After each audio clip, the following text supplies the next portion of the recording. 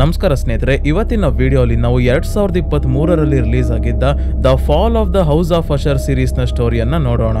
ಈ ಸೀರೀಸ್ನ ಮೈಕ್ ಫ್ಲಾನಗನ್ ಅವರು ಕ್ರಿಯೇಟ್ ಮಾಡಿದ್ದಾರೆ. ದ ಹಾಂಟಿಂಗ್ ಆಫ್ ಬ್ಲೈಮೇನರ್ ಮತ್ತೆ ಹಾಂಟಿಂಗ್ ಆಫ್ ಹಿಲ್ ಹೌಸ್ ಸೀರೀಸ್ನ ಮೈಕ್ ಫ್ಲಾನಗನ್ ಅವರೇ ಕ್ರಿಯೇಟ್ ಮಾಡಿರೋದು. The haunting of Hill House ಸೀರೀಸ್ನ ನಾನು ಆಲ್ರೆಡಿ ಎಕ್ಸ್ಪ್ಲೈನ್ ಮಾಡಿದ್ದೀನಿ. ಡಿಸ್ಕ್ರಿಪ್ಷನ್ ಅಲ್ಲಿ ಲಿಂಕ್ ಇದೆ. ಈ ಸೀರೀಸ್ನ ನೋಡಿ ಆದ್ಮೇಲೆ ಆ ವಿಡಿಯೋಸ್ನ ಕೂಡ ಚೆಕ್ ಮಾಡಿ. ಈಗ the fall of the house of Usher ಸೀರೀಸ್ನ ಬಗ್ಗೆ ಹೇಳೋದಾದ್ರೆ ಎಡ್ಗರ್ ಅಲೆನ್ ಪೋ ಅವರು ಸಾವಿರದ ಎಂಟುನೂರ ಮೂವತ್ತೊಂಬತ್ತರಲ್ಲಿ ಬರ್ತಿದ್ದ ಶಾರ್ಟ್ ಸ್ಟೋರಿಯಿಂದ ಇನ್ಸ್ಪೈರ್ ಆಗಿ ಮಾಡಿದ್ದಾರೆ.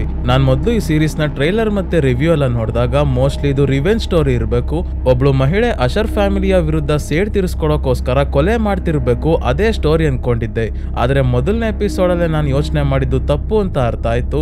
ಆ ರೀತಿ ಸೀರೀಸ್ ಇದೆ. ಮೈಕ್ ಫ್ಯಾನಗನ್ ಅವರ ಬೇರೆ ಸೀರೀಸ್ನ ನೋಡಿರೋರ್ಗೆ ಗೊತ್ತಿರುತ್ತೆ.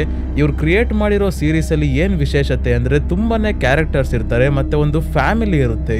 ಸ್ಟೋರಿ ಅಂತೂ ಹಿಂದೆ ಮುಂದೆ ಬೇರೆ ಬೇರೆ ಟೈಮ್ ಲೈನ್ಗೆಲ್ಲ ಹೋಗ್ತಿರುತ್ತೆ. ಅಂದ್ರೆ ನಾನ್ ಲಿನಿಯರ್ ಸ್ಕ್ರೀನ್ ಪ್ಲೇ ಇರುತ್ತೆ. ಕೊನೆ ಎಪಿಸೋಡ್ ವರ್ಗೂ ನಮ್ಮ ಮನಸ್ಸಲ್ಲಿ ತುಂಬಾನೇ ಪ್ರಶ್ನೆ ಇರುತ್ತೆ. ಆ ಪ್ರಶ್ನೆಗೆಲ್ಲ ಉತ್ತರ ಸಿಗೋದು ಲಾಸ್ಟ್ ಎಪಿಸೋಡ್ ನೋಡಿದಾಗ ಮಾತ್ರ. ಈ ಸೀರೀಸ್ ಅಲ್ಲೂ ಅಷ್ಟೇ ಸ್ನೇಹಿತರೆ, ಎಂಟು ಎಪಿಸೋಡ್ಸ್ ಇದೆ. ಏಳನೇ ಎಪಿಸೋಡ್ ವರ್ಗೂ ನಮ್ಮ ಮನಸ್ಸಲ್ಲಿ ನೂರಾರು ಪ್ರಶ್ನೆ ಇರುತ್ತೆ. ಕೊನೆ ಎಪಿಸೋಡ್ ಅಲ್ಲಿ ಎಲ್ಲಾ ಪ್ರಶ್ನೆಗೂ ಉತ್ತರ ಸಿಗುತ್ತೆ. ಮತ್ತೆ ಸೀರೀಸ್ನ ರೇಟಿಂಗ್ ಅಂತೂ ನಿಮ್ಗೆ ಹೇಳಲೇಬೇಕು. ಐ ಎಂ ಡಿ ಬಿ ಅಲ್ಲಿ seven point nine out of ten ಮತ್ತೆ ರಾಟನ್ ಟೊಮ್ಯಾಟೋಸ್ ಅಲ್ಲಿ ನೈಂಟಿ ಪರ್ಸೆಂಟ್ ರೇಟಿಂಗ್ ಇದೆ. ಒಂದು ಹಾರರ್ ಮೂವಿಗೆ ಅಥವಾ ಹಾರರ್ ಸೀರೀಸ್ಗೆ ಇಷ್ಟೊಂದು ಹೈ ರೇಟಿಂಗ್ ಬರೋದು ತುಂಬಾನೇ ಅಪರೂಪ. ಮೊದಲೇ ಹೇಳ್ದಂಗೆ ಸ್ನೇಹಿತರೆ ಸೀರೀಸ್ ಅಲ್ಲಿ ನಾನ್ ಲೀನಿಯರ್ ಸ್ಕ್ರೀನ್ ಪ್ಲೇ ಇರೋದ್ರಿಂದ ವಿಡಿಯೋ ಮಿಸ್ ಮಾಡದೆ ಕೊನೆವರೆಗೂ ನೋಡಿ. ಈ ವಿಡಿಯೋ ಅಲ್ಲಿ ಎರಡು ಎಪಿಸೋಡ್ನ ಎಕ್ಸ್ಪ್ಲೈನ್ ಮಾಡ್ತೀನಿ. ಬೇರೆ ಎಪಿಸೋಡ್ಸ್ನ ಕೂಡ ಆದಷ್ಟು ಬೇಗ ಅಪ್ಲೋಡ್ ಮಾಡ್ತೀನಿ. ಅದಕ್ಕೆ ಚಾನಲ್ಗೆ ಯಾರಿನ್ನೂ ಸಬ್ಸ್ಕ್ರೈಬ್ ಆಗಿಲ್ಲ ಅಂದ್ರೆ, ಈ ಕೂಡಲೇ ಸಬ್ಸ್ಕ್ರೈಬ್ ಆಗಿ ಮತ್ತೆ ಪಕ್ಕದಲ್ಲೇ ಇರೋ ನೋಟಿಫಿಕೇಶನ್ ಬೆಲ್ ಐಕನ್ನ ಆನ್ ಮಾಡಿ. ನೆಕ್ಸ್ಟ್ ಎಪಿಸೋಡ್ ಅಪ್ಲೋಡ್ ಆಗ್ತಿದ್ದಂಗೆ ನಿಮಗೆ ಆದಷ್ಟು ಬೇಗ ನೋಟಿಫಿಕೇಶನ್ ಬರುತ್ತೆ. ಮೊದಲನೇ ಎಪಿಸೋಡ್ನ ಶುರು ಮಾಡೋಕ್ಕೂ ಮುಂಚೆ ಸ್ನೇಹಿತರೆ ಅಶರ್ ಫ್ಯಾಮಿಲಿಯಲ್ಲಿ ಯಾರ್ಯಾರಿದ್ದಾರೆ ಅಂತ ಒಂದ್ಸಲ ನೋಡೋಣ. ಇಲ್ಲಾಂದ್ರೆ ಸ್ಟೋರಿ ಸ್ವಲ್ಪ ಕನ್ಫ್ಯೂಸ್ ಆಗುತ್ತೆ. ಈ ಫ್ಯಾಮಿಲಿಯಲ್ಲಿ ಮೇನ್ ಆಗಿ ಇಬ್ರು ಟ್ವಿನ್ಸ್ ಇದ್ದಾರೆ ರಾಡ್ರಿಕ್ ಅಶರ್ ಮತ್ತೆ ಮ್ಯಾಡಲಿನ್ ಅಶರ್ ಇಲ್ಲಿ ಮ್ಯಾಡಲಿನ್ ಬಗ್ಗೆ ಜಾಸ್ತಿ ತಲೆ ಕೆಡ್ಸ್ಕೊಳ್ಳೋ ಆಗಿಲ್ಲ ಯಾಕಂದ್ರೆ ಅವಳಿಗೆ ಗಂಡ ಮಕ್ಕಳು ಅಂತ ಯಾರು ಇಲ್ಲ. ಆದ್ರೆ ರಾಡ್ರಿಕ್ಗೆ ಐದು ಜನ ಹೆಂಡತಿರು ಮತ್ತೆ ಆರು ಜನ ಮಕ್ಕಳಿದ್ದಾರೆ. ರಾಡ್ರಿಕ್ನ ಮೊದಲನೇ ಹೆಂಡತಿಯ ಹೆಸರು ಆನಾಬೆಲ್ ಲೀ ಅಂತ. ಇನ್ನ ಮೂರ್ ಜನ ಹೆಂಡತಿರು ಯಾರು ಅಂತ ತೋರ್ಸಲ್ಲ. ಈಗ ಸದ್ಯಕ್ಕೆ ಜೂನೋ ಅನ್ನೋ ಮಹಿಳೆಯನ್ನ ಮದುವೆ ಆಗಿದ್ದಾನೆ. ರಾಡ್ರಿಕ್ನ ಮಕ್ಕಳ ಬಗ್ಗೆ ಹೇಳೋದಾದ್ರೆ ಅನಾಬೆಲ್ಲಿ ಮತ್ತೆ ರಾಡ್ರಿಕ್ಗೆ ಇಬ್ಬರು ಮಕ್ಕಳು. ಮೊದಲನೇವನ ಹೆಸರು ಫ್ರೆಡ್ರಿಕ್ ಎರಡನೇವನ ಹೆಸರು ಟ್ಯಾಮರ್ಲೆನ್. ಇನ್ನ ಮೂರು ಜನ ಹೆಂಡತಿಯರಿಂದ ವಿಕ್ಟೋರಿನ್, ನೆಪೋಲಿಯನ್, ಕೆಮಿಲ್ ಮತ್ತೆ ಪ್ರಾಸ್ಪೆರೋ ಅನ್ನೋ ಮಕ್ಕಳಿದ್ದಾರೆ. ಜೂನೋ ಅಂದ್ರೆ ರಾಡ್ರಿಕ್ನ ಐದನೇ ಹೆಂಡತಿಗೆ ಇನ್ನು ಮಕ್ಕಳಾಗಿಲ್ಲ. ಇಷ್ಟು ಜನರಲ್ಲಿ ಫ್ರೆಡ್ರಿಕ್ ಮತ್ತೆ ಟ್ಯಾಮರ್ಲೆನ್ ಮದುವೆ ಆಗಿದ್ದಾರೆ, ಫ್ರೆಡ್ರಿಕ್ಗೆ ಲೆನೋರ್ ಅನ್ನೋ ಮಗಳಿದ್ದಾಳೆ. ಸೊ ಇಷ್ಟು ಜನ ಅಶರ್ ಫ್ಯಾಮಿಲಿಯಲ್ಲಿ ಇರೋದು. ಈಗ ಈ ಫ್ಯಾಮಿಲಿ ಬೀಳೋದಕ್ಕೆ ಶುರು ಆಗುತ್ತೆ. ಅಂದ್ರೆ ಒಬ್ಬೊಬ್ಬರೇ ಸಾಯ್ತಾ ಬರ್ತಾರೆ. ಏನಾಗುತ್ತೆ, ಏನ್ ಕತೆ ಅಂತ ನೋಡೋಣ. ಮೊದಲನೇ ಎಪಿಸೋಡ್ನ ಸ್ಟಾರ್ಟಿಂಗ್ ಅಲ್ಲಿ ರಾಡ್ರಿಕ್ ಅಶರ್ನ ಮೂರು ಜನ ಮಕ್ಕಳು ಸಾವನ್ನಪ್ಪಿರೋದನ್ನ ತೋರಿಸ್ತಾರೆ. ಯಾರ್ಯಾರು ಅಂದ್ರೆ ಮೊದಲನೇ ಮಗ ಫ್ರೆಡ್ರಿಕ್ ಎರಡನೇ ಮಗಳು ಟ್ಯಾಮರ್ಲೈನ್ ಮತ್ತೆ ಮೂರನೇ ಮಗಳು ವಿಕ್ಟೋರಿನ್ ಇವರ ಅಂತ್ಯ ಸಂಸ್ಕಾರಕ್ಕೆ ಅಂತ ರಾಡ್ರಿಕ್ ಅಶರ್ ಫ್ರೆಡ್ರಿಕ್ನ ಮಗಳು ಲೆನೋರ್ ಮ್ಯಾಡೆಲಿನ್ ಮತ್ತೆ ಅವರ ಫ್ಯಾಮಿಲಿ ಲಾಯರ್ ಆರ್ಥರ್ ಇಷ್ಟು ಜನ ಮಾತ್ರ ಚರ್ಚ್ಗೆ ಬಂದಿದ್ದಾರೆ. ಬೇರೆಯವರೆಲ್ಲ ಏನಾದ್ರು ಅಂದ್ರೆ ಅವರೆಲ್ಲ ಆಲ್ರೆಡಿ ಸಮಾಧಿಯಲ್ಲಿ ಇದ್ದಾರೆ. ಹೌದು ಸ್ನೇಹಿತರೆ ರಾಡ್ರಿಕ್ನ ಮಕ್ಕಳೆಲ್ಲ ಆಲ್ರೆಡಿ ಸಾವನ್ನಪ್ಪಿದ್ದಾರೆ. ಯಾಕೆ ಏನ್ ಕಾರಣ? ಒಬ್ಬೊಬ್ರು ಹೇಗೆ ಸಾವನ್ನಪ್ಪಿದ್ರು ಅಂತ ಒಂದೊಂದು ಎಪಿಸೋಡ್ ಅಲ್ಲಿ ತೋರಿಸ್ತಾ ಹೋಗ್ತಾರೆ. ಈಗ ರಾಡ್ರಿಕ್ ಚರ್ಚ್ ಅಲ್ಲಿ ಇದ್ದಕ್ಕಿದ್ದಂಗೆ ಒಬ್ಳು ವಿಚಿತ್ರವಾಗಿರೋ ಮಹಿಳೆ ಅವಾಗವಾಗ ಕಾಣಿಸ್ಕೊಂತಾನೆ ಇದ್ದಾಳೆ. ಅವಳು ಇಲ್ಲಿಗೆನೆ ಬಂದಿದ್ದಾಳೆ ಅಂತ ಕೂಡ ರಾಡ್ರಿಕ್ ಹೇಳ್ತಾ ಇದ್ದಾನೆ. ಇನ್ನೊಂದ್ ಕಡೆ ಅಸಿಸ್ಟೆಂಟ್ ಯು ಎಸ್ ಅಟಾರ್ನಿ ಅಂದ್ರೆ ಲಾಯರ್ ಆಗಿರೋ ಅಗಸ್ಟ್ ಅನ್ನೋ ವ್ಯಕ್ತಿಯನ್ನ ತೋರಿಸ್ತಾರೆ. ರಾಡ್ರಿಕ್ ಫ್ಯಾಮಿಲಿಯ ಬಿಸ್ನೆಸ್ ಬಗ್ಗೆ ಕೋರ್ಟ್ ಅಲ್ಲಿ ಇವನು ಕೇಸ್ ಹಾಕಿದ್ದಾನೆ. ರಾಡ್ರಿಕ್ದು ಏನ್ ಬಿಸ್ನೆಸ್ ಅಂದ್ರೆ ಫಾರ್ಚುನಾಟೋ ಫಾರ್ಮಸ್ಯೂಟಿಕಲ್ಸ್ ಅನ್ನೋ ಕಂಪನಿ ಇದೆ. ಇವರು ಲಿಗೋಡೋನ್ ಅನ್ನೋ ಪೇನ್ ಕಿಲ್ಲರ್ ಮಾತ್ರೆ ಮ್ಯಾನುಫ್ಯಾಕ್ಚರ್ ಮಾಡ್ತಾ ಇರ್ತಾರೆ. ಈ ಮಾತ್ರೆ ಹೈಲಿ ಅಡಿಕ್ಟಿವ್ ಈ ಮಾತ್ರೆಗೆ ಅಡಿಕ್ಟ್ ಆಗಿ ತುಂಬಾನೇ ಜನ ಸಾವನ್ನಪ್ಪಿದ್ದಾರೆ ಅಂತ ಕೇಸ್ ಹಾಕಿದಾನೆ ಆಗಸ್ಟ್ ಸೊ ಅಂತ್ಯ ಸಂಸ್ಕಾರ ಎಲ್ಲ ಆದ್ಮೇಲೆ ರಾಡ್ರಿಕ್ ಆಗಸ್ಟ್ಗೆ ಕಾಲ್ ಮಾಡಿ ಒಂದು ಅಡ್ರೆಸ್ಗೆ ಬರೋಕೆ ಹೇಳ್ತಾನೆ. ತಾನು ಮಾಡಿರೋ ತಪ್ಪನ್ನ ಒಪ್ಕೊಳ್ಳೋಕೋಸ್ಕರ. ಸೊ ಆಗಸ್ಟ್ ಕನ್ಫೆಷನ್ಗೆ ಕರಿತಾ ಇದ್ದಾನೆ. ಹೋಗಿ ಏನ್ ಹೇಳ್ತಾನೆ ಅಂತ ರೆಕಾರ್ಡ್ ಮಾಡ್ಕೊಂಡ್ ಬರೋಣ ಅಂತ ರಾಡ್ರಿಕ್ ಹೇಳಿದ ಅಡ್ರೆಸ್ಗೆ ಬಂದು ಮನೆ ನೋಡಿ ಶಾಕ್ ಆಗ್ತಾನೆ. ಇದೇನ್ ದೆವ್ವದ ಮನೆ ಇದ್ದಂಗಿದ್ಯಲ್ಲ ಅಂತ ಒಳಗೆ ಬಂದಾಗ ಇಲ್ಲಿ ರಾಡ್ರಿಕ್ ಕುಡಿಯೋಕೆ ಎಲ್ಲ ವ್ಯವಸ್ಥೆ ಮಾಡ್ಕೊಂಡಿದ್ದಾನೆ. ಸೊ ಇಲ್ಲಿಂದ ಸ್ನೇಹಿತರೆ ಸ್ಟೋರಿ ಹಿಂದೆ ಮುಂದೆ ಮೇಲೆ ಕೆಳಗೆ ಎಲ್ಲ ಹೋಗುತ್ತೆ. ಹಾಗಾಗಿ ವಿಡಿಯೋನ ಸ್ಕಿಪ್ ಮಾಡದೆ ನೋಡಿ. ಇಲ್ಲಿ ಟೋಟಲ್ ಮೂರು ಟೈಮ್ ಲೈನ್ ಇದೆ. ಏನಂದ್ರೆ, ಈಗ ರಾಡ್ರಿಕ್ ತನ್ನ ಮತ್ತೆ ಮ್ಯಾಡಲಿನ್ ಲೈಫ್ ಸ್ಟೋರಿಯನ್ನ ಆಗಸ್ಟ್ಗೆ ಹೇಳ್ತಾನೆ. ಹೇಗೆ ಇವರು ಯಾವ ರೀತಿ ಕಷ್ಟ ಅನುಭವಿಸ್ಕೊಂಡು ಬಂದು ಒಂದು ದೊಡ್ಡ ಕಂಪನಿಯನ್ನ ಕಟ್ಟಿದ್ರು ಅಂತ, ಅದ್ರ ಜೊತೆಗೆ ತನ್ನ ಮಕ್ಕಳು ಹೇಗೆ ಸಾವನ್ನಪ್ಪಿದ್ರು ಅಂತ ಕೂಡ ಆಗಸ್ಟ್ಗೆ ಹೇಳ್ತಾನೆ. ಸೊ ಈ ಮೂರು ಟೈಮ್ ಲೈನ್ ಜೊತೆಗೆ ನಡೆಯೋದ್ರಿಂದ ಸ್ವಲ್ಪ ಕನ್ಫ್ಯೂಸ್ ಆಗುತ್ತೆ. ಸೊ ಈಗ ರಾಡ್ರಿಕ್ ಅಗಸ್ಟ್ಗೆ ಹೇಳ್ತಾನೆ, ನಾನು ಮತ್ತೆ ಮ್ಯಾಡಲಿನ್ ಹುಟ್ಟಿದ್ದು ಬೆಳೆದಿದ್ದು ಇದೇ ಮನೆಯಲ್ಲಿ. ಈಗ ಮತ್ತೆ ಇಲ್ಲೇ ಬಂದು ಕೂತಿದ್ದೀನಿ. ಮ್ಯಾಡಲಿನ್ ಕೂಡ ಇಲ್ಲೇ ಬೇಸ್ಮೆಂಟ್ ಅಲ್ಲೇ ಇದ್ದಾಳೆ. ನಮ್ಮ ಲೈಫ್ನ ಹಿಸ್ಟ್ರಿಯನ್ನ ಈಗ ನಿನ್ನ ಮುಂದೆ ಬಿಚ್ಚಿಡ್ತೀನಿ. ನನ್ನ ಮಕ್ಕಳು ಕೂಡ ಹೇಗೆ ಸಾವನ್ನಪ್ಪಿದ್ರು ಅಂತ ನಿನ್ಗೆ ಹೇಳ್ತೀನಿ ಎಂದಾಗ ನೀನ್ ಹಿಸ್ಟ್ರಿ ಕಟ್ಕೊಂಡು ನನ್ಗೆ ಏನಾಗ್ಬೇಕಾಗಿದೆ? ನಿನ್ ಮಕ್ಕಳು ಹೇಗೆ ಸಾವನ್ನಪ್ಪಿದ್ರು ಅಂತ ಎಲ್ಲರಿಗೂ ಗೊತ್ತು. ಈಗ ನೀನೇನ್ ಕನ್ಫ್ಯೂಸ್ ಮಾಡ್ಬೇಕು ಅಂತ ಅನ್ಕೊಂಡಿದ್ಯೋ ಅದನ್ನ ಹೇಳು ಅಂದಾಗ ನನ್ನ ಮಕ್ಕಳ ಸಾವಿಗೆ ಕಾರಣ ಏನು ಅಂತ ಯಾರಿಗೂ ಗೊತ್ತಿಲ್ಲ. ನನಗೆ ಮಾತ್ರ ಗೊತ್ತಿರೋದು ನಿಮಗೆ ಕಾಸ್ ಆಫ್ ಡೆತ್ ಗೊತ್ತಿರ್ಬೋದು, ಆದ್ರೆ ನನಗೆ ಅವರ ಸಾವಿನ ಹಿಂದಿನ ರಹಸ್ಯನೇ ಗೊತ್ತು. ನಾನು ಕನ್ಫೆಷನ್ ಮಾಡಬೇಕು ಅಂದ್ರೆ ನನ್ನ ಹಿಸ್ಟ್ರಿನ ನೀನು ಕೇಳಲೇಬೇಕು ಅಂತ ಹೇಳಿ ಸಾವಿರದ ಒಂಬೈನೂರ ಐವತ್ ಮೂರರಿಂದ ತನ್ನ ಮತ್ತೆ ಮ್ಯಾಡಲಿನ ಲೈಫಲ್ಲಿ ಏನೇನಾಗಿತ್ತು ಅಂತ ಹೇಳೋಕೆ ಶುರು ಮಾಡ್ತಾನೆ. ಸೊ ಈಗ ಸಾವಿರದ ಒಂಬೈನೂರ ಐವತ್ ಮೂರರಲ್ಲಿ ಎಲಿಸಾ ಅನ್ನೋ ಮಹಿಳೆಗೆ ಇಬ್ರು ಟ್ವಿನ್ಸ್ ಮಕ್ಕಳು ಇದ್ದಾರೆ. ಇವರ ಹೆಸರು ನಿಮಗೆ ಆಲ್ರೆಡಿ ಗೊತ್ತಿರೋ ಹಾಗೆ ಸ್ನೇಹಿತರೆ, ಮ್ಯಾಡಲಿನ್ ಮತ್ತೆ ರಾಡ್ರಿಕ್. ಎಲಿಸಾ ಫಾರ್ಚುನಾಟೋ ನ ಸಿಇಒ ಆದ ವಿಲಿಯಂ ನ ಪರ್ಸನಲ್ ಸೆಕ್ರೆಟರಿ ಆಗಿ ಕೆಲಸ ಮಾಡ್ತಿರ್ತಾಳೆ. ಆದ್ರೆ ವಿಲಿಯಂ ಇವಳನ್ನ ಈ ಕೆಲಸ ಬಿಟ್ಟು ಬೇರೆ ಕೆಲಸಕ್ಕೂ ಉಪಯೋಗಿಸ್ಕೊಂಡಿರೋದ್ರಿಂದ ಎಲಿಸಾ ಪ್ರೆಗ್ನೆಂಟ್ ಆಗಿರ್ತಾಳೆ. ನಂತರ ರಾಡ್ರಿಕ್ ಮತ್ತೆ ಮ್ಯಾಡಲಿನ್ ಹುಡ್ತಾರೆ. ಎಲಿಸಾ ಮಕ್ಕಳನ್ನ ಒಬ್ಳೆ ಸಾಕ್ತಿರ್ತಾಳೆ. ಯಾಕಂದ್ರೆ ವಿಲಿಯಂ ಇವರನ್ನ ತನ್ನ ಮನೆ ಹತ್ರನೂ ಬಿಡ್ಕೊಂತಿರಲ್ಲ. ಮನೆಯಲ್ಲಿ ಆಲ್ರೆಡಿ ಹೆಂಡತಿ ಇದ್ದಲೆ ಅವಳಿಗೆ ವಿಷಯ ಗೊತ್ತಾಗುತ್ತೆ ಅಂತ. ಆದ್ರೆ ಒಂದಿನ ನಮ್ ತಂದೆ ಯಾಕೆ ನಮ್ಮನ್ನ ಮಾತಾಡ್ಸೋದೇ ಇಲ್ಲ ಅಂತ ವಿಲಿಯಂನ ಮನೆ ಕಾಂಪೌಂಡ್ ಹಾರೋಕೆ ಹೋಗಿ ರಾಡ್ರಿಕ್ ಕಾಲಿಗೆ ಗಾಯ ಮಾಡ್ಕೊಂಡು ಕೆಳಗೆ ಬೀಳ್ತಾನೆ. ಇವನ್ಗೆ ಗಾಯ ಆಗಿದೆ ಅಂತಾನು ನೋಡದೆ ವಿಲಿಯಂ ಇವ್ರಿಗೆ ಚೆನ್ನಾಗಿ ಬೈದು ಕಳಿಸ್ತಾನೆ. ಮತ್ತೆ ಈ ಕಡೆ ತಲೆ ಹಾಕಿದ್ರೆ ಸುಮ್ನೆ ಇರಲ್ಲ ಅಂತ.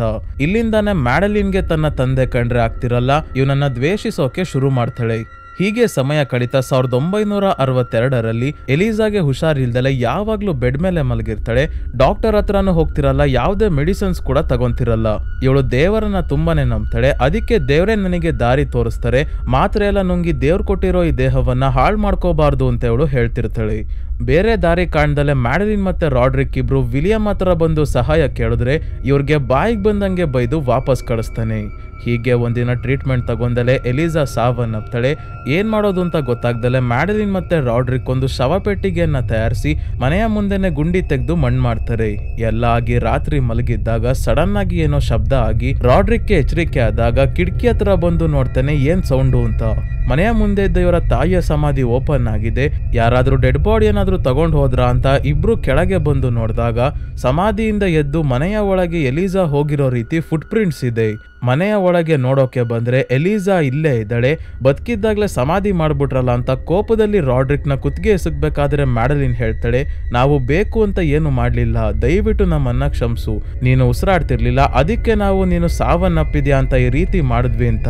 ಸೊ ಎಲಿಸಾ ಇವರನ್ನ ಬಿಟ್ಟು ಸೀದಾ ವಿಲಿಯಂನ ಮನೆಗೆ ಹೋಗಿ ಇವನ ಕತ್ತನ್ನ ಇಸ್ಕಿ ಸಾಯಿಸ್ತಾಳೆ. ನಂತರ ಸ್ವಲ್ಪ ಹೊತ್ತಾದ್ಮೇಲೆ ಇವಳು ಕೂಡ ಪಕ್ಕನೆ ಬಿದ್ದು ಸಾವನ್ನಪ್ತಾಳೆ. ಈಗ ಪ್ರೆಸೆಂಟ್ ಅಲ್ಲಿ ಆಗಸ್ಟ್, ನೀನ್ ಯಾಕೆ ನಿಮ್ಮ ಅಮ್ಮನ ಬಗ್ಗೆ ಈಗ ನನಗೆ ಹೇಳ್ತಿದ್ಯಾ ಅಂತ ಕೇಳಿದಾಗ, ಹೇಳಲೇಬೇಕು, ಯಾಕಂದ್ರೆ ನಮ್ಮಮ್ಮ ಈಗ ಇಲ್ಲೇ ಇದ್ದಾರೆ ನಿನ್ ಹಿಂದೆನೆ ನಿಂತಿದ್ದಾರೆ ಅಂತ ಹೇಳ್ತಾನೆ ರಾಡ್ರಿಕ್. ಆದ್ರೆ ಆಗಸ್ಟ್ ನಂಬೋದಿಲ್ಲ, ನೀನ್ ಹೇಳ್ದೆ ಅಂತ ನಾನು ಹಿಂದೆ ತಿರ್ಗ್ ನೋಡಲ್ಲ ಅಂತ ಹೇಳ್ತಾನೆ. ಆದ್ರೆ ಹಿಂದೆ ನಿಜವಾಗ್ಲೂ ರಾಡ್ರಿಕ್ನ ತಾಯಿಯ ಆತ್ಮ ಇದೆ, ರಾಡ್ರಿಕ್ ಹೇಳಿದ ಸ್ಟೋರಿ ಕೇಳಿ ಇಲ್ಲಿಂದ ಹೋಗುತ್ತೆ. ರಾಡ್ರಿಕ್ ಹೇಳ್ತಾನೆ, ನಾನು ನಮ್ಮಪ್ಪ ನನಗೆ ಮಾಡಿದ್ದನ್ನ ನನ್ನ ಮಕ್ಕಳಿಗೆ ಮಾಡಲ್ಲ. ನನ್ನ ಐದು ಜನ ಹೆಂಡ್ತಿರಿಂದ ಆರು ಜನ ಮಕ್ಕಳಿದ್ದಾರೆ. ಯಾರೇ ಅಶರ್ ಫ್ಯಾಮಿಲಿಗೆ ಸೇರಿದವರಾದರೂ ನನ್ನ ರಕ್ತ ಅವರ ಮೈಯಲ್ಲಿ ಹರಿತಾ ಇತ್ತು ಅಂದರೆ ಮನೆಯ ಬಾಗಿಲು ಅವ್ರಿಗೆ ಓಪನ್ ಇರುತ್ತೆ. ಯಾವಾಗ ಬೇಕಾದರೂ ನನ್ನ ಹತ್ರ ಬರ್ಬೋದು. ನನ್ನ ಸಪೋರ್ಟ್ ಅವ್ರಿಗೆ ಇದ್ದೇ ಇರುತ್ತೆ. ಅಂದಾಗ ತನ್ನ ಮೊಮ್ಮಗಳು ಲೆನೋರಿಂದ ಇವನಿಗೆ ಮೆಸೇಜ್ ಬರುತ್ತೆ. ಅಂದ್ರೆ ರಾಡ್ರಿಕ್ನ ಮೊದಲನೇ ಮಗ ಫ್ರೆಡ್ರಿಕ್ನ ಮಗಳು. ಆದ್ರೆ ರಾಡ್ರಿಕ್ ಮೆಸೇಜ್ಗೆ ರಿಪ್ಲೈ ಮಾಡಲ್ಲ, ಏನು ಅರ್ಜೆಂಟ್ ಇಲ್ಲ ಅಂತ ಹೇಳ್ತಾ ಇದ್ದಾನೆ. ಈಗ ರಾಡ್ರಿಕ್ ಕೊನೆ ಬಾರಿ ತನ್ನ ಫ್ಯಾಮಿಲಿಯ ಜೊತೆ, ತನ್ನ ಮಕ್ಕಳು ಸಾಯೋಕ್ಕೂ ಮುಂಚೆ ಎಲ್ಲರ ಜೊತೆಗೆ ಸೇರಿದ್ದ ದಿನವನ್ನ ನೆನ್ಪ್ ಮಾಡ್ಕೊಂತಾನೆ. ಏನಂದ್ರೆ, ಆಗಸ್ಟ್ ಕೇಸ್ ಹಾಕಿರೋದ್ರಿಂದ ಅಶರ್ ಫ್ಯಾಮಿಲಿ ಅವರು ಮತ್ತೆ ಇವರ ಲಾಯರ್ ಆರ್ಥರ್ ಕೋರ್ಟ್ ಅಲ್ಲಿ ಇದ್ದಾರೆ. ಇವರು ಏನೇನ್ ಫ್ರಾಡ್ ಕೆಲಸ ಮಾಡಿದ್ದಾರೆ ಅಂತ ಆಗಸ್ಟ್ ಕೋರ್ಟ್ ಅಲ್ಲಿ ಎಲ್ಲರ ಮುಂದೆ ಹೇಳ್ತಾ ಇದ್ದಾನೆ. ಇದು ನಡೆದಿದ್ದು ಎರಡು ವಾರದ ಹಿಂದೆ ಅಷ್ಟೇ. ಕೇವಲ ಎರಡು ವಾರದಲ್ಲೇ ರಾಡ್ರಿಕ್ನ ಆರು ಜನ ಮಕ್ಕಳು ಸಾವನ್ನಪ್ಪಿದ್ದಾರೆ ಸೊ ಕೋರ್ಟಲ್ಲಿ ಆಗಸ್ಟ್ ಹೇಳ್ತಾ ಇದ್ದಾನೆ ಫಾರ್ಚುನಾಟೋ ಫಾರ್ಮಸ್ಯೂಟಿಕಲ್ಸ್ನ ಸಿಇಒ ರಾಡ್ರಿಕ್ ಮತ್ತೆ ಮ್ಯಾಡಲಿನ್ ಇಬ್ರು ನಲವತ್ತು ವರ್ಷದಿಂದ ಈ ಕಂಪನಿಯನ್ನ ತುಂಬಾನೇ ದೊಡ್ಡದಾಗಿ ಬೆಳೆಸಿದ್ದಾರೆ. ಒಳ್ಳೆ ದಾರಿಯಲ್ಲಿ ಅಲ್ಲ, ಅಡ್ಡ ದಾರಿ ಹಿಡಿದು. ಇವರು ಸೇಲ್ ಮಾಡೋ ಲಿಗೋಡೋನ್ ಪೇನ್ ಕಿಲ್ಲರ್ನ ಕಾರಣದಿಂದ ತುಂಬಾನೇ ಜನ ಸಾವನ್ನಪ್ಪಿದ್ದಾರೆ. ಅದರಲ್ಲಿ ಓಪಿಯೋಯ್ಡ್ ಅನ್ನೋ ಡ್ರಗ್ ಇದೆ.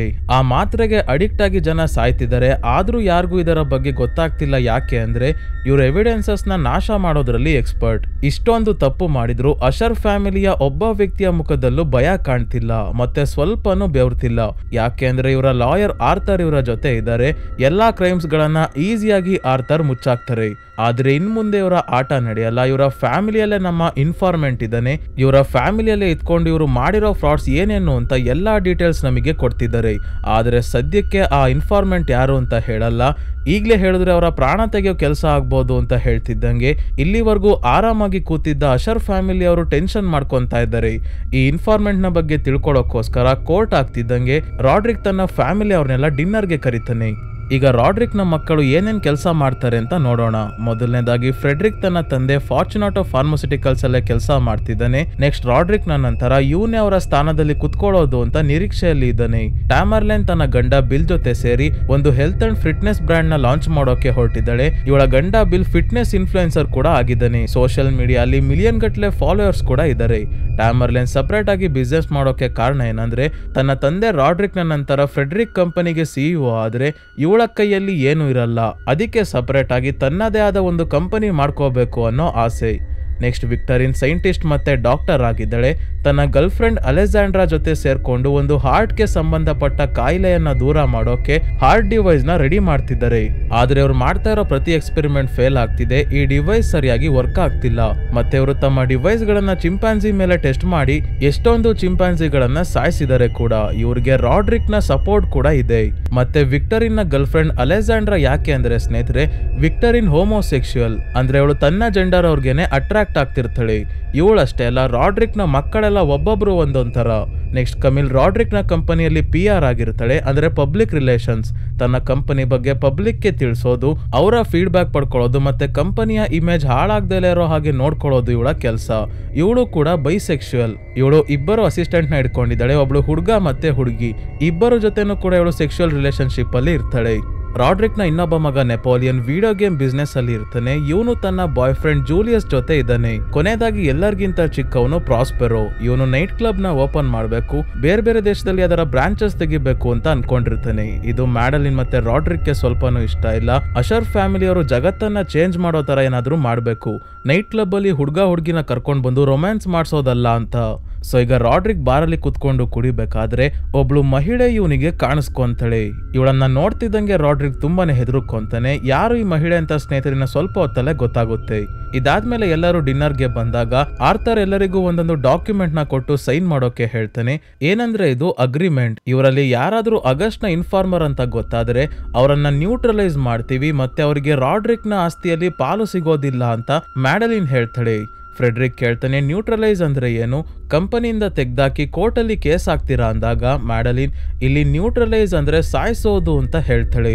ಎಲ್ಲರೂ ಸೈನ್ ಮಾಡಿದ್ಮೇಲೆ ರಾಡ್ರಿಕ್ ಹೇಳ್ತಾನೆ, ನಮ್ಮಲ್ಲೇ ಇರೋ ಆ ಇನ್ಫಾರ್ಮರ್ ಯಾರು ಅಂತ ನಿಮ್ಮಲ್ಲಿ ಯಾರಾದರೂ ಕಂಡಿಡಿದ್ರೆ ಅವ್ರಿಗೆ ಐವತ್ತು ಮಿಲಿಯನ್ ಡಾಲರ್ಸ್ ಕ್ಯಾಶ್ ಕೊಡ್ತೀನಿ. ಯಾವುದೇ ಟ್ಯಾಕ್ಸ್ ಇಲ್ಲ, ಏನೂ ಇಲ್ಲ, ಐವತ್ತು ಮಿಲಿಯನ್ ನಿಮ್ಮ ಕೈಗೆ ಸಿಗುತ್ತೆ ಅಂತ ಹೇಳ್ತಾನೆ. ಯಾಕಂದ್ರೆ ರಾಡ್ರಿಕ್ಗೆ ಗೊತ್ತು, ತನ್ನ ಮಕ್ಕಳಿಗೆ ತನಗಿಂತ ಜಾಸ್ತಿ ಪ್ರೀತಿ ಇರೋದು ತನ್ನ ಆಸ್ತಿ ಮೇಲೆ. ಸೊ ಈಗ ಟೈಮ್ ಲೈನ್ ಶಿಫ್ಟ್ ಆಗಿ ಪ್ರೆಸೆಂಟ್ ಅಲ್ಲಿ ರಾಡ್ರಿಕ್ ಹೇಳ್ತಾ ಇದ್ದಾನೆ, ನಿನಗೆ ಒಬ್ಳು ಮಹಿಳೆಯ ಬಗ್ಗೆ ಹೇಳಲೇಬೇಕು. ಸಾವಿರದ ಒಂಬೈನೂರ ಎಪ್ಪತ್ತೊಂಬತ್ತರಲ್ಲಿ ಒಂದು ಅಲ್ಲಿ ಆ ಮಹಿಳೆಯನ್ನ ಮೀಟ್ ಮಾಡಿದ್ದೆ ಅಂತ ಫ್ಲಾಶ್ ಬ್ಯಾಕ್ ಹೇಳೋಕೆ ಶುರು ಮಾಡ್ತಾನೆ. ಸಾವಿರದ ಒಂಬೈನೂರ ಎಪ್ಪತ್ತೊಂಬತ್ತು ಹೊಸ ವರ್ಷದ ಹಿಂದಿನ ರಾತ್ರಿ ಒಂದು ಬಾರ್ಗೆ ಮ್ಯಾಡಲಿನ್ ಮತ್ತೆ ರಾಡ್ರಿಕ್ ಬರ್ತಾರೆ. ಇವರಿಬ್ರು ಏನೋ ಮಾಡಬಾರ್ದನ್ನ ಮಾಡ್ ಬಂದಿರೋ ಹಾಗೆ ಕಾಣಿಸ್ತಾ ಇದೆ. ಹೆದರ್ಕೊಂಡು ಯಾರ ಕೈಯಲ್ಲೂ ಸಿಗಾಕೋಬಾರ್ದು ಅಂತ ಮಾತಾಡ್ಕೋಬೇಕಾದ್ರೆ ಈ ಬಾರ್ನ ಓನರ್ ಆದ ವರ್ನಾ ಇವರ ಹತ್ರ ಬರ್ತಾಳೆ. ಇದೇ ಮಹಿಳೆ ಸ್ನೇಹಿತರೆ, ಪ್ರೆಸೆಂಟ್ ಅಲ್ಲಿ ರಾಡ್ರಿಕ್ಗೆ ಅವಾಗ ಅವಾಗ ಕಾಣಿಸ್ತಿರೋದು. ಮ್ಯಾಡಲಿನ್ ವರ್ನಾಗೆ ಕೇಳ್ತಾಳೆ, ನಾನು ಇದೇ ರೋಡಲ್ಲಿ ಓಡಾಡ್ತಿರ್ತೀನಿ. ಆದರೆ ಈ ಬಾರ್ನ ಯಾವತ್ತೂ ನೋಡೇ ಇಲ್ಲ. ಹೊಸದಾಗಿ ಏನಾದರೂ ಓಪನ್ ಮಾಡಿದ್ರ? ಅಂದಾಗ, ಹೌದು ಅಂತ ಹೇಳ್ತಾಳೆ ವರ್ಣ ವರ್ಣ ಬಾರಲ್ಲಿ ಇರೋ ಯಾವ ಕಸ್ಟಮರ್ನು ಮಾತಾಡಿಸ್ತಾನೆ ಇರಲ್ಲ. ಕೇವಲ ಇವರಿಬ್ರು ಜೊತೆ ಮಾತ್ರ ಒಳ್ಳೆ ಫ್ರೆಂಡ್ಸ್ನ ರೀತಿ ಮಾತಾಡಿಸ್ತಾ ಇದ್ದಾಳೆ. ಯಾಕೆ ಏನು ಅಂತ ಸ್ನೇಹಿತರೆ, ಕೊನೆ ಎಪಿಸೋಡಲ್ಲಿ ಗೊತ್ತಾಗುತ್ತೆ. ಈ ಸೀನ್ನ ನೆನ್ಪಿಡ್ಕೊಳ್ಳಿ. ಪ್ರೆಸೆಂಟಲ್ಲಿ ರಾಡ್ರಿಕ್ ಆ ಮಹಿಳೆ ಅಂದರೆ ವರ್ಣ ಹೇಳಿದ ಒಂದು ಮಾತನ್ನ ನೆನ್ಪು ಮಾಡ್ಕೊತಾ ಇದ್ದಾನೆ.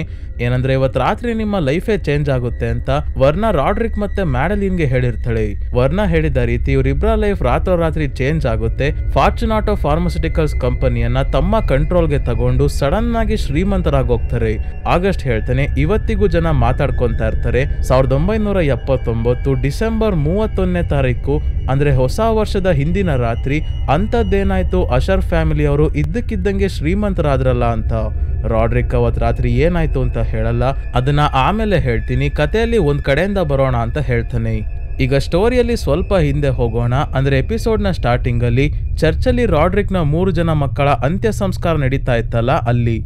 ರಾಡ್ರಿಕ್ಗೆ ಒಬ್ಳು ವಿಚಿತ್ರವಾದ ಮಹಿಳೆ ಕಾಣಿಸೋದು ನಾವು ಮೊದಲೇ ನೋಡಿದ್ವಿ. ಅವಳು ಬೇರೆ ಯಾರು ಅಲ್ಲ, ವರ್ಣನೆ ಆಗಿರ್ತಾಳೆ ಇವಳ ಜೊತೆಗೆ ಸಾವನ್ನಪ್ಪಿರೋ ತನ್ನ ಮಕ್ಕಳ ಆತ್ಮ ಕೂಡ ಇವನಿಗೆ ಕಾಣಿಸ್ಕೊಂತಾ ಇದೆ. ಸೊ ಚರ್ಚಿಂದ ವಾಪಸ್ ಮನೆಗೆ ಹೋಗೋಕೆ ರಾಡ್ರಿಕ್ ಬಂದು ತನ್ನ ಕಾರ್ ಡೋರ್ನ ಓಪನ್ ಮಾಡಿದಾಗ ಒಳಗೆ ಯಾರೋ ಜೋಕರ್ನ ರೀತಿ ಬಟ್ಟೆ ಹಾಕೊಂಡು ಕೂತಿರೋದನ್ನ ನೋಡಿ ಶಾಕ್ ಆಗಿ ಮೂಗಿಂದ ರಕ್ತ ಬಂದು ಕೆಳಗೆ ಬೀಳ್ತಾನೆ. ಆದ್ರೆ ಕಾರಲ್ಲಿ ಇದ್ದ ಜೋಕರ್ ವೇಷ ಹಾಕಿದ್ದವನು ರಾಡ್ರಿಕ್ಗೆ ಬಿಟ್ರೆ ಬೇರೆ ಯಾರಿಗೂ ಕಾಣ್ತಿಲ್ಲ. ತಕ್ಷಣ ಮ್ಯಾಡಲಿನ್ ಬಂದು ಇವನನ್ನ ಡಾಕ್ಟರ್ ಹತ್ರ ಕರ್ಕೊಂಡು ಹೋಗೋ ವ್ಯವಸ್ಥೆ ಮಾಡ್ತಾಳೆ. ರಾಡ್ರಿಕ್ ಇಲ್ಲೇ ಚರ್ಚ್ ಗೇಟ್ ಮೇಲೆ ಕೂತಿರೋ ರೇವನ್ ಬರ್ಡ್ ಅಂದ್ರೆ ಕಾಗೆಯನ್ನ ನೋಡಿ ನಮ್ಮ ಸಮಯ ಬಂದಿದೆ ಸಮಯ ಬಂದಿದೆ ಅಂತ ಪದೇ ಪದೇ ಹೇಳ್ತಾ ಇದ್ದಾನೆ.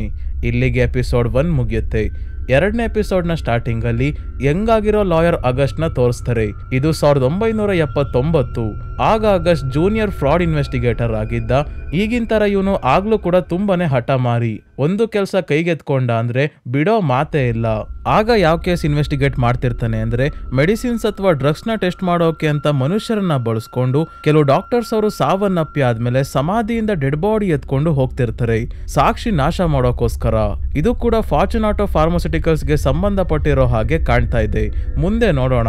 ಪ್ರೆಸೆಂಟಲ್ಲೂ ರಾಡ್ರಿಕ್ ಅಗಸ್ಟ್ಗೆ ಹೇಳ್ತಾ ಇದ್ದಾನೆ, ಯಾರೇ ಗಾಯ ಮಾಡಿಕೊಂಡು ಅಥವಾ ಬೇರೆ ಏನಾದರೂ ಕೈಕಾಲು ನೋವು ಮಾಡಿಕೊಂಡು ಡಾಕ್ಟರ್ಸ್ ಹತ್ರ ಹೋದರೆ ನಿನ್ನ ಮಾತ್ರ ಲಿಗೋಡೋನ್ನ ಪ್ರಿಸ್ಕ್ರೈಬ್ ಮಾಡ್ತಾರೆ.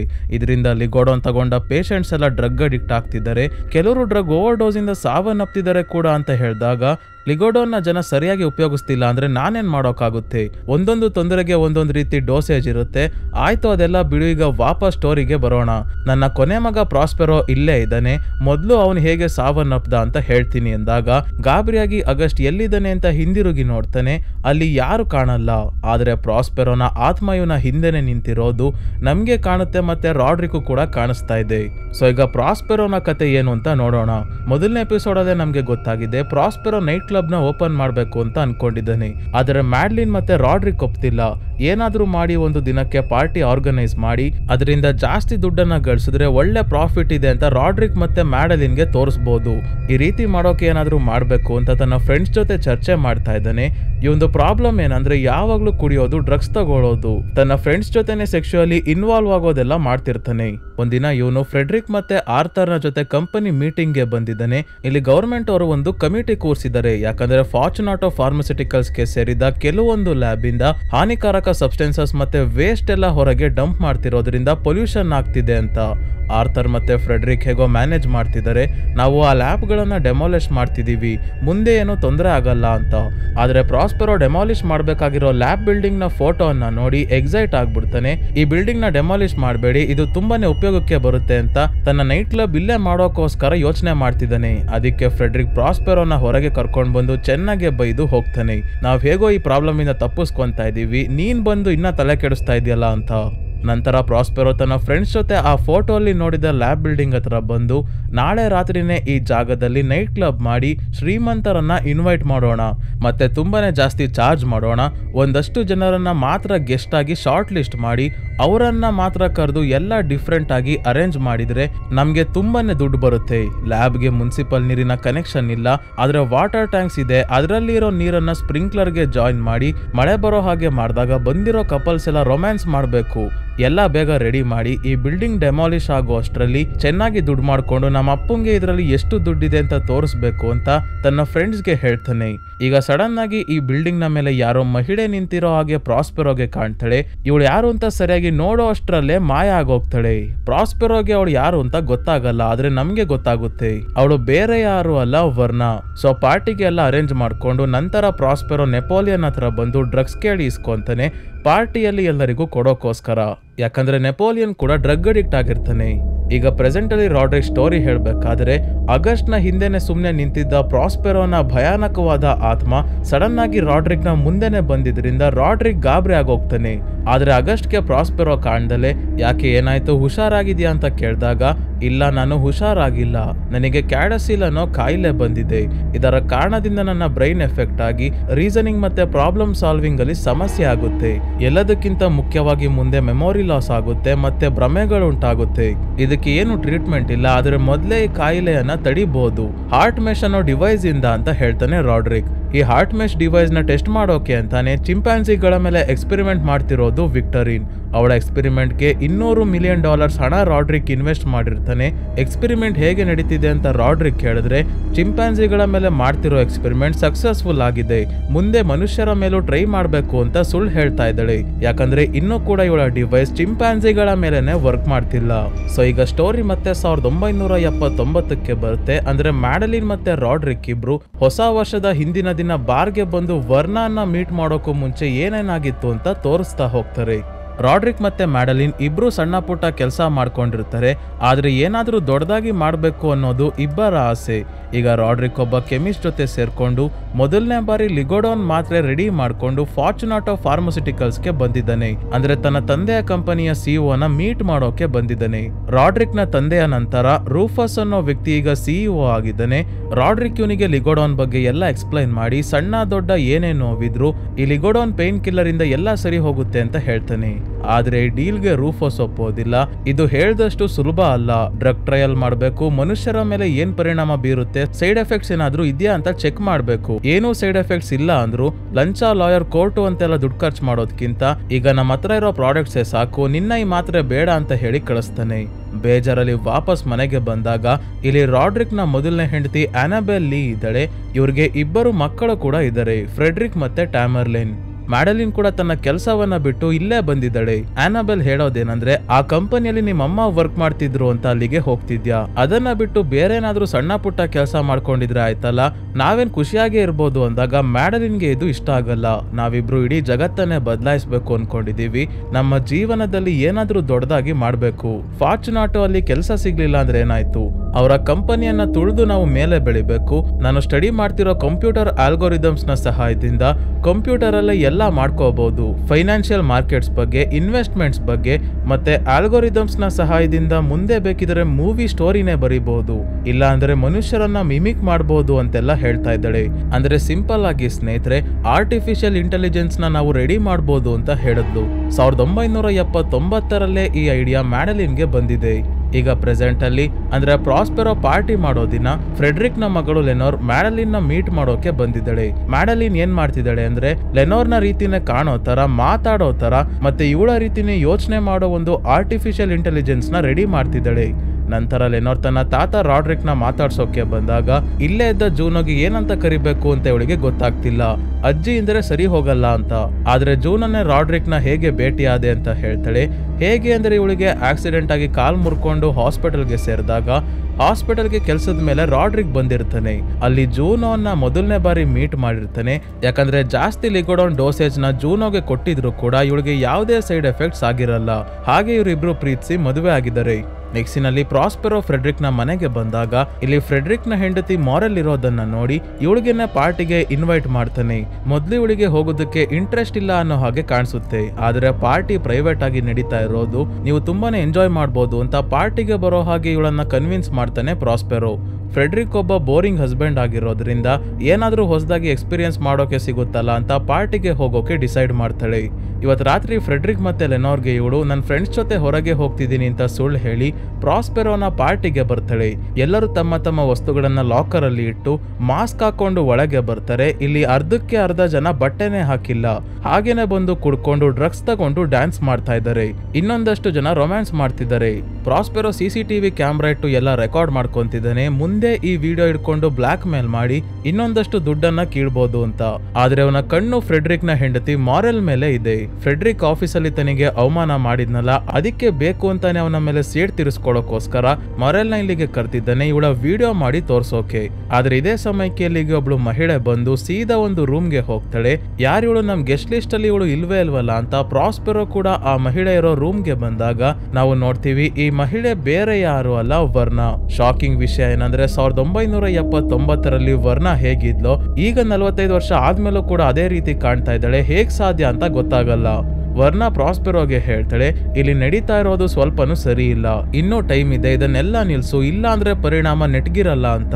ಆದ್ರೆ ಪ್ರಾಸ್ಪೆರೋ ಏನ್ ಇವಳ ಮಾತ್ಗೆ ತಲೆನೇ ಕೆಡ್ಸ್ಕೊಳಲ್ಲ. ಆಗ ವರ್ಣ ಹೋಗಿ ಇಲ್ಲಿನ ಸ್ಟಾಫ್ ಮತ್ತೆ ಕೆಲಸ ಮಾಡ್ತಿರೋ ಬಾರ್ ಟೆಂಡರ್ ಆಗಿರ್ಬೋದು, ಸೆಕ್ಯೂರಿಟಿ ಗಾರ್ಡ್ ಆಗಿರ್ಬೋದು, ಎಲ್ಲರ ಕಿವಿ ಹತ್ರ ಹೋಗಿ ಈ ಜಾಗದಿಂದ ಹೊರಗೆ ಹೋಗೋಕೆ ಹೇಳ್ತಾಳೆ. ಮತ್ತೆ ಮೊರೆಲ್ಗೂ ಕೂಡ ಹೊರಗೆ ಹೋಗು ಅಂತಳೆ, ಆದ್ರೆ ಇವಳು ಮಾತ್ರ ಹೊರಗೆ ಹೋಗೋದಿಲ್ಲ. ಬೇರೆ ಕೆಲಸದವರೆಲ್ಲ ಡೋರ್ ಕ್ಲೋಸ್ ಮಾಡ್ಕೊಂಡು ಹೊರಗೆ ಬರ್ತಾರೆ. ಪ್ರಾಸ್ಪೆರೋ ತನ್ನ ಫ್ರೆಂಡ್ಗೆ ಟೈಮ್ ಆಯ್ತು ಸ್ಪ್ರಿಂಕ್ಲರ್ ಆನ್ ಮಾಡು ಅಂದಾಗ ಹೋಗಿ ಸ್ಪ್ರಿಂಕ್ಲರ್ ಆನ್ ಮಾಡ್ತಿದ್ದಂಗೆ ಎಲ್ಲರ ದೇಹ ಸುಡೋಕೆ ಶುರು ಆಗುತ್ತೆ. ಯಾಕಂದ್ರೆ ಈ ಬಿಲ್ಡಿಂಗ್ನ ಟ್ಯಾಂಕ್ ಅಲ್ಲಿ ಇದ್ದಿದ್ದು ಆಸಿಡ್ ಮತ್ತೆ ಬೇರೆ ಬೇರೆ ಕೆಮಿಕಲ್ಸ್. ಇಲ್ಲಿರೋರ್ಗೆಲ್ಲ ಹೊರಗೆ ಹೋಗೋಕಾಗ್ತಿಲ್ಲ. ಹೊರಗಿಂದ ಡೋರ್ ಲಾಕ್ ಆಗಿದೆ. ಏನು ಮಾಡೋಕಾಗ್ದಲೆ ಒಳಗೆ ಇವರೆಲ್ಲ ತಗ್ಲಾಕೊಂಡು ಪೂರ್ತಿ ಕೆಮಿಕಲ್ ಮತ್ತೆ ಆಸಿಡ್ ಎಲ್ಲ ದೇಹದ ಮೇಲೆ ಬಿದ್ದಿದ್ರಿಂದ ನರಳಿ ನರಳಿ ಎಲ್ಲರೂ ಪೂರ್ತಿ ಸುಟ್ಟೋಗಿ ಸಾವನ್ನಪ್ತಾರೆ. ಪ್ರಾಸ್ಪೆರೋನ ಪ್ರಾಣ ಹೋಗೋಕ್ಕೂ ಮುಂಚೆ ವರ್ಣ ವಾಪಸ್ ಬಂದು ಇವನಿಗೆ ಕಿಸ್ ಮಾಡಿ ತನ್ನ ಮಾಸ್ನೇವನ ಮುಖದ ಮೇಲೆ ಇಟ್ಟು ಹೋಗ್ತಾಳೆ. ಸೊ ಸ್ನೇಹಿತರೆ, ಎರಡನೇ ಎಪಿಸೋಡ್ ಇಲ್ಲಿಗೆ ಮುಗಿಯುತ್ತೆ. ಮೂರು ಮತ್ತೆ ನಾಲ್ಕನೇ ಎಪಿಸೋಡ್ ಕೂಡ ಆದಷ್ಟು ಬೇಗ ಅಪ್ಲೋಡ್ ಆಗುತ್ತೆ. ಹಾಗಾಗಿ ಚಾನಲ್ಗೆ ಸಬ್ಸ್ಕ್ರೈಬ್ ಆಗಿಲ್ಲ ಅಂದ್ರೆ ಸಬ್ಸ್ಕ್ರೈಬ್ ಆಗಿ ಮತ್ತೆ ನೋಟಿಫಿಕೇಶನ್ ಬೆಲ್ ಐಕನ್ನ ಮರೀದೆ ಆನ್ ಮಾಡಿ. ನೆಕ್ಸ್ಟ್ ವಿಡಿಯೋ ಅಪ್ಲೋಡ್ ಆಗ್ತಿದ್ದಂಗೆ ನಿಮಗೆ ನೋಟಿಫಿಕೇಶನ್ ಬರುತ್ತೆ. ಈ ಸೀರೀಸ್ನ ಪ್ಲೇಲಿಸ್ಟ್ ಕೂಡ ಕ್ರಿಯೇಟ್ ಮಾಡಿ ಹಾಕಿರ್ತೀನಿ. ಇದರಿಂದ ಈ ಸೀರೀಸ್ನ ಎಲ್ಲಾ ವಿಡಿಯೋಸ್ ನಿಮಗೆ ಒಂದೇ ಜಾಗದಲ್ಲಿ ಸಿಗುತ್ತೆ.